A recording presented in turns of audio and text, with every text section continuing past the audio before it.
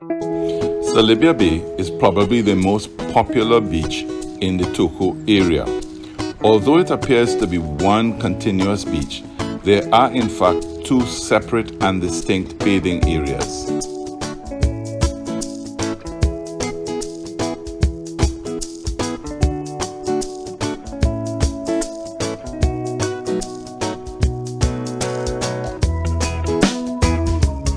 When you subscribe, remember to click the bell to be alerted whenever there is a new video.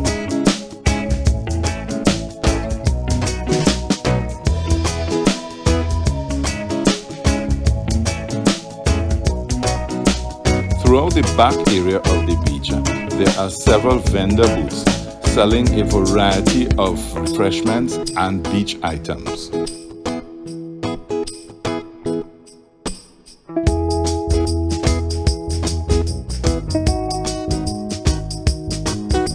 The eastern side of the beach is protected by an offshore reef, which provides a relatively calm bathing area and is used for the mooring of fishing boats.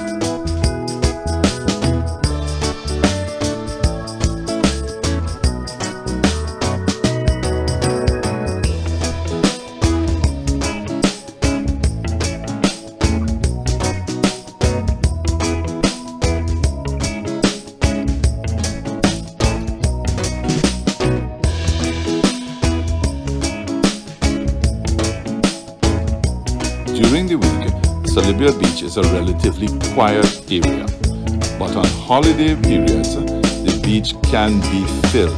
So if you plan to go during the holiday, you should aim to arrive early.